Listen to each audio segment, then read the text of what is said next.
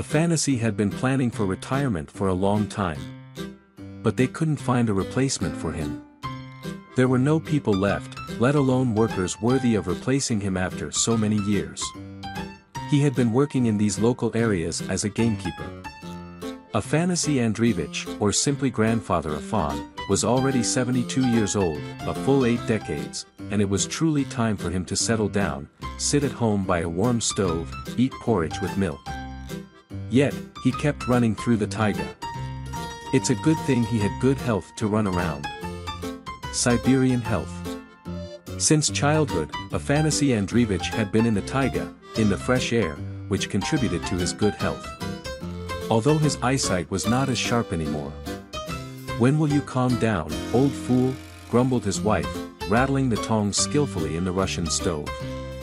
Your peers have long been lying on the stove, warming their old bones. And you keep wandering through the forests. And you can't argue with her. Indeed, on the one hand, it seemed good to stay at home, but on the other hand, without movement, one could die prematurely, and from boredom as well. That's what he pondered to himself, an old dreamer.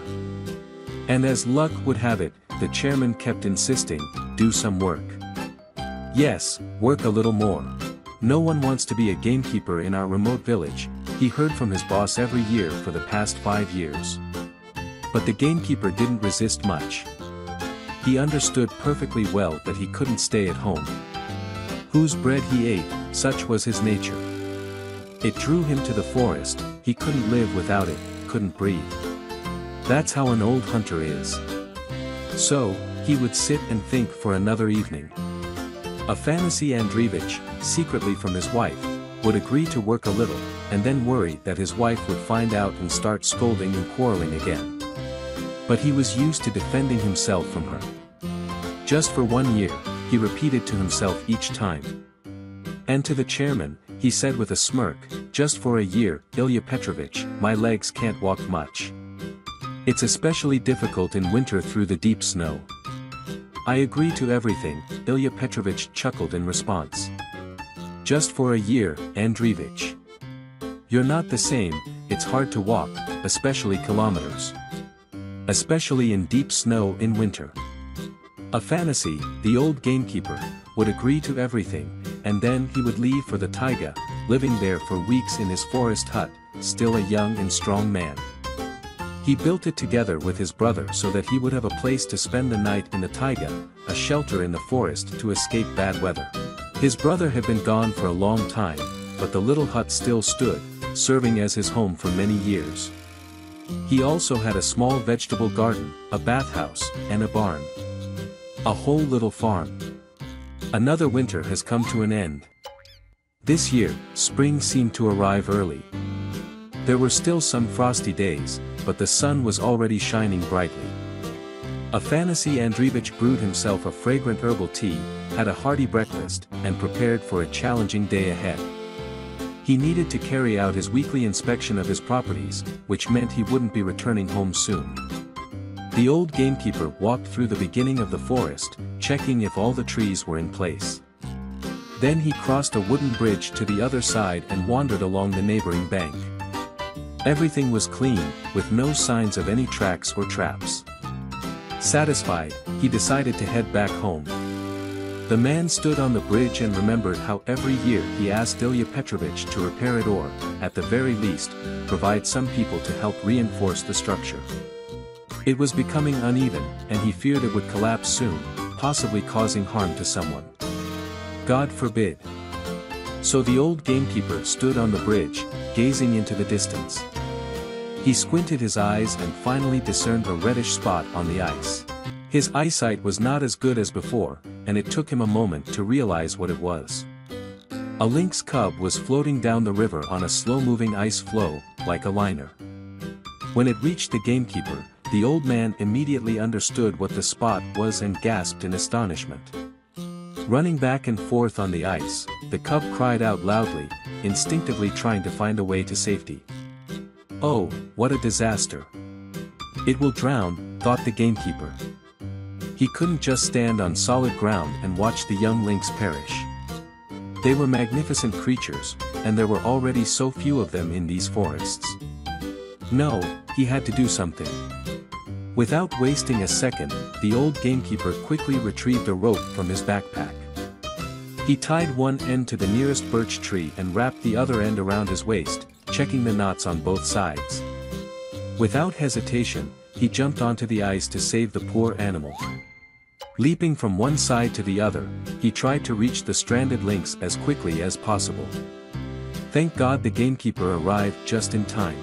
He grabbed the distressed creature and swiftly, with light jumps, made his way back to the shore. Thankfully, the ice was solid enough to withstand their weight, and within a few minutes, they were safely on land. Afanasy Andreevich held the lynx close to him, and they made their way to the forest hut. There, the man quickly lit the stove for himself, brewed tea, and added the balm he made himself, infused with herbs to prevent any illness.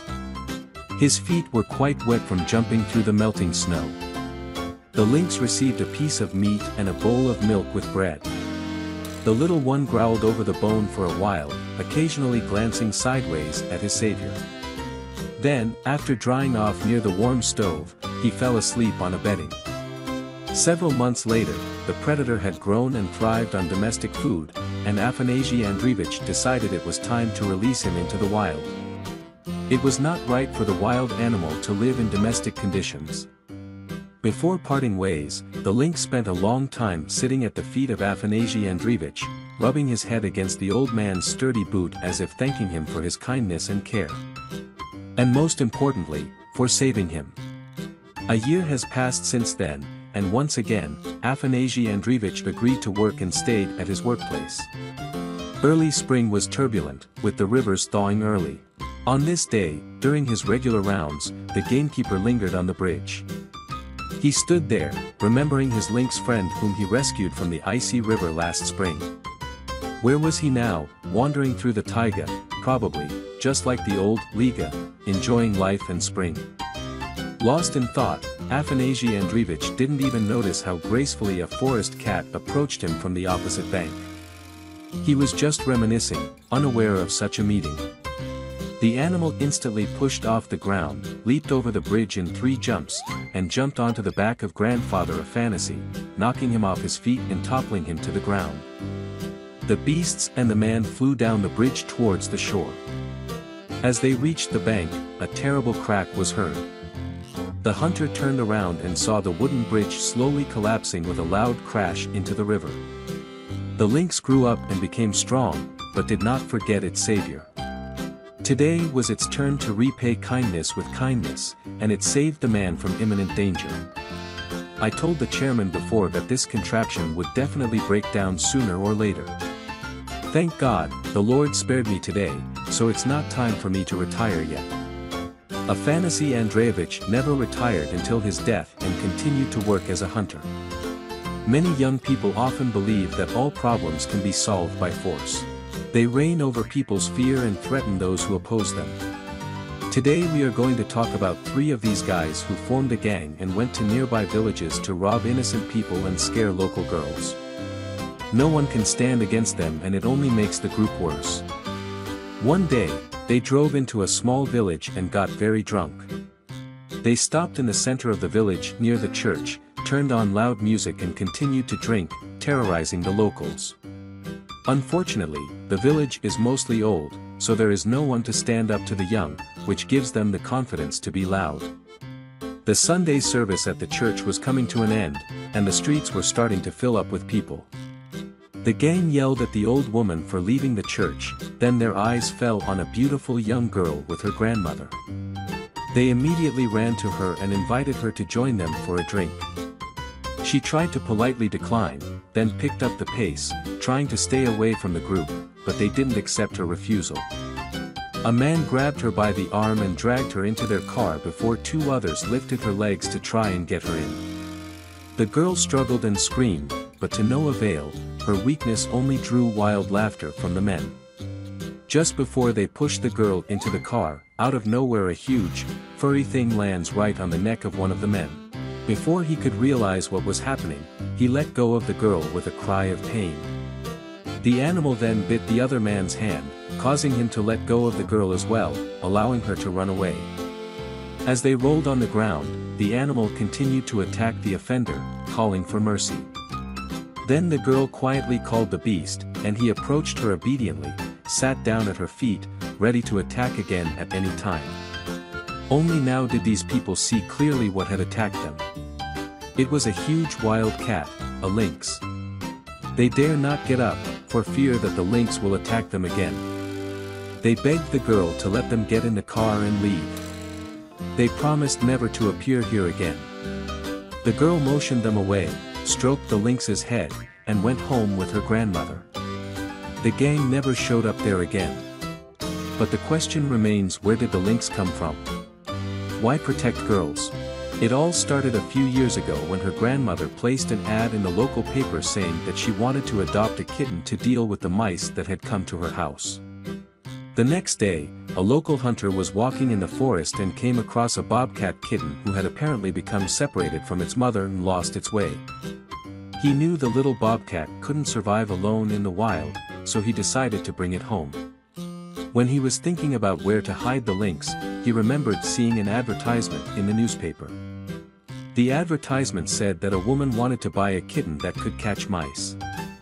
Why isn't this a kitten that catches mice? The man thought for a while and smiled slyly. When he got to the village, he found the woman and sold the lynx to her. He told her it was a purebred kitten. The old lady had vision problems, her eyesight was very poor, and she couldn't see clearly that it was a wild animal, so she happily bought it. Time passed and the kitten grew up. When he outgrew the size of an average cat, the woman suspected something was wrong. When her granddaughter visited from the city, she immediately recognized her grandmother's new pet as a wild animal. She convinces her grandmother to send him back to the forest because you never know what a beast can do to a person. But the old woman became so attached to him that she flatly refused to do it. The woman and granddaughter took care of the lynx, and the beast was very close to them. He became completely docile and non-aggressive towards people until the day a violent man appeared in their village and threatened the girl. So friends, even wild animals can express their gratitude for being given a good life. Unfortunately, not all of us are able to do this, and sometimes we can learn good deeds from animals. After all, not everyone in our lives gets away with it. We often find happiness in the most unexpected places. When we give up hope, the universe seems to lend a helping hand, and only then can we find true love. Max is a very attractive tall and handsome young man. He held a senior position in a construction company and showed great potential as a specialist. Girls try to get his attention and want to marry him, but Max falls in love with a girl who is only interested in his money. Max dreams of having a family, but that doesn't interest his beloved, so she leaves him for a richer man. Max then fell into a severe depression and even started drinking heavily. His mother was worried about him, so she asked him to go on a trip with her so he could get some rest. He agrees, and joins her on the train out of town. They went to a small village where Max found a job as a railway worker. His duties included driving along the railroad and identifying possible breakdowns. Work is dirty but quiet. One can walk along the tracks all day, breathing in the fresh air and admiring the beauty of the forest. During one such walk, Max spotted a wounded wolf cub. He took him home to take care of him. The little wolf cub grew up and became a beautiful big wolf. Now Max is not so boring because his faithful friend is always with him. The wolf is completely tame. He is not afraid of people, so he is allowed to work with him. During one of his tours, Max and his wolf hear a loud horn in the distance, indicating an approaching train. Usually when this happened, Max would stay away from the railroad, and the wolf would run into the bushes to avoid the loud noise. But this time, the wolf behaved strangely. He dashed along the tracks, directly toward the oncoming train. Max ran after him, yelling at him to go the other way, but then he saw the wolf pulling something off its track. As he approached, he was shocked by what he saw. It was an unconscious girl. Max rushed at her and pulled her away from the tracks. She lay lifeless on the ground, the wolf licking her face and hands. Her pulse was very weak, but she was alive. Max picked her up and took her to his warehouse as fast as he could. There, she received medical attention before she regained consciousness. A few days later, the girl woke up and told her frustrating story. It turned out she had grown up in an orphanage, where she trained as a hairdresser, then got a job in a small beauty salon and rented a room in a hotel. There, she fell in love with one of her clients. He makes her feel like Cinderella, but the fairy tale ends quickly when she finds out she's pregnant. She was very happy that day. She is going to meet her beloved and tell him the good news. But he didn't feel the same way. He told her to get rid of the child, he never wanted to see her again. The girl couldn't believe her ears. She didn't want to lose the fruit of their love, so she went to the forest and left herself there. She wandered the forest for a long time when she realized she was completely lost. It was dark when she reached the railway. She decides to follow these trails, hoping they will lead her to civilization, but then she faints from loss of strength. If it weren't for Max and his wolf, she would have been run over by a train and the story would have ended tragically. But miracles do happen. For the first time since his depression, Max became interested in another girl. Soon he married her, she had a daughter, he adopted her, and they had a son, and then a daughter. They decided to live in that village because they didn't want to lose their happiness in the hustle and bustle of the city. When an elderly woman rescued two motherless bear cubs, she had no idea she would adopt them as pets after years together. She wanted to release the bears back into the wild where they belonged, but they really proved to be pet material in an incredible way when she needed them most. Bonnie Hart was born and raised in Texas where she has lived her entire life, she is known to the people of her town. She is a brave, strong woman who lost her husband many years ago. But refuses to move out of the home they built together because it holds all the treasured memories of Bonnie's husband, Joshua, while he was alive. She has been a truck driver for decades and has done so well, she loves her job so much and refuses to quit. Despite warnings from her children that she is too old to spend hours behind big wheels. They were also concerned that she would be lonely living alone, but aside from her impressive resilience, she never expressed interest in moving in with either of them. And she was also known for her warm personality. Known for her strong love for animals of all kinds, Bonnie is a frequent visitor to the local veterinarian for this reason, as she brings in various injured animals on a weekly basis. She's always on her back for stray dogs and is adored by neighborhood pets, so Bonnie's favorite rescue friend is her own dog, Billy, the German Schnauzer. She found Billy badly injured on the side of the road while doing truck deliveries a few years ago. Bonnie took him to the local veterinarian for treatment, he needed a lot of rest to fully recover, Billy needed a lot of rest to fully recover, she volunteered to take him in. Since then they have become best friends. Fortunately, it has returned to health. Looking out her kitchen window one afternoon when she heard excited barking from the backyard, she was surprised to see Billy approaching the house with his two new canine friends, Billy bringing his two new companions. She ran out the back door to get a closer look. But there was no doubt it was a bear. Terrified for her and her dog, Bonnie picked up the phone to call the local animal rescue, and if there's one thing she knows, it's that bear cubs always have a protective mama who always close to them. Billy and his friends didn't pay much attention to these details, although they played happily in the backyard. She had been observing the animals without interfering because she did not want to disturb them. In fact, she didn't know what to do at all, and the cubs looked completely harmless. But it looked like they were having a rough few days. They were covered in dirt and scratched, and while they looked innocent, they were still bears. On the phone, animal rescue officials told her they were likely the cubs of a grizzly bear that had been caught in a trap a few days earlier. Unfortunately, the mother bear bled to death before help could arrive. Bears are very rare in their area, so her death was very tragic. Bonnie knew that if these cubs returned to the forest, they would not be able to survive on their own, they were small, tired and weak. And looked like they hadn't eaten for days. Her heart breaks for the poor cubs as she wonders if they know their mother is dead. So she decided to try to help them and raise them. The first thing she has to do is try to get them clean. Surprisingly, when she hesitated out onto the lawn with the hose, they didn't cause any trouble. Bear and her dog seem to enjoy being sprayed, and it's like a fun little game for them. Bonnie knew exactly what the cubs liked to eat, and since she and Joshua had a little hunting experience. She made a quick concoction of softened puppy food and fish and served them in a bowl.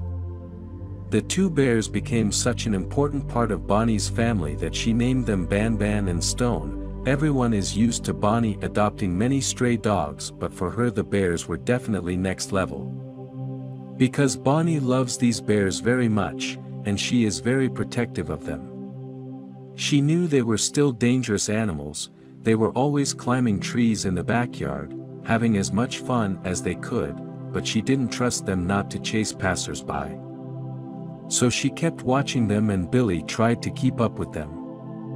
But after living with Bonnie for about four years they have grown from bear cubs to adult bears and Bonnie will not be able to fight them if a dangerous situation arises. This is very scary for many people. Billy had tragically passed away from cancer a few months ago, and it was just her and the bear, and she knew she had to get them out of here as soon as possible. Bonnie was on a long truck trip one day and wasn't feeling well, and when she got home eager to get back to her evening work. She thought it was just fatigue. The next morning, she didn't feel much better than the night before, but she went about her day's work in the afternoon as usual. Bonnie was out in the backyard with the bears, knitting in her favorite recliner on the porch and watching them play together. Climb trees, and push each other. She didn't know what horror was going to happen hours later, and after a while, Bonnie got up and went into the house to take a nap, because she was still not feeling well, she only took a few steps in the direction of the house. When she suddenly fell down and fell hard on the ground. Two bears rushed to her side and tried to nudge her awake, but she did not respond to their touch. They do a truly incredible thing. Ban Ban rushed to the neighbor's house next door, which he was quite familiar with. While Stone sat beside Bonnie and continued to push her. Fortunately, the neighbor, Mr. Miller, was at home and was about to go out when he heard a loud roar coming from the yard. He recognized the sound of a bear and initially feared that the neighbor's pet had become feral and was coming to attack him when he went out the door to face it. He found Ban Ban pacing up and down incessantly.